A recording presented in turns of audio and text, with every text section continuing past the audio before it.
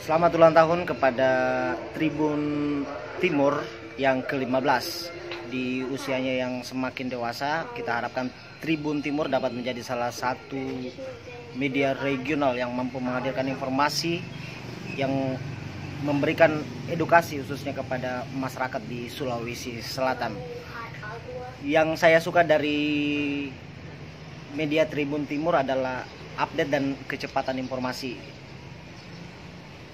selanjutnya kita harapkan uh, Tribun Timur dapat menyajikan konten informasi dan uh, penulisan yang lebih uh, bervariatif dan mendidik. Saya pertama kali membaca Tribun Timur sekitar tiga tahun. Namun setelah saya amati dalam satu tahun terakhir ada uh, perubahan dalam segmentasi penyajian informasi di mana Tribun lebih mengandalkan kecepatan. Tentunya kami selaku masyarakat pembaca mengharapkan informasi yang cepat, akurat, uh, dan mendidik.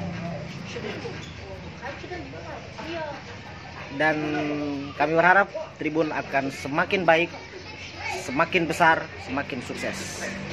Terima kasih.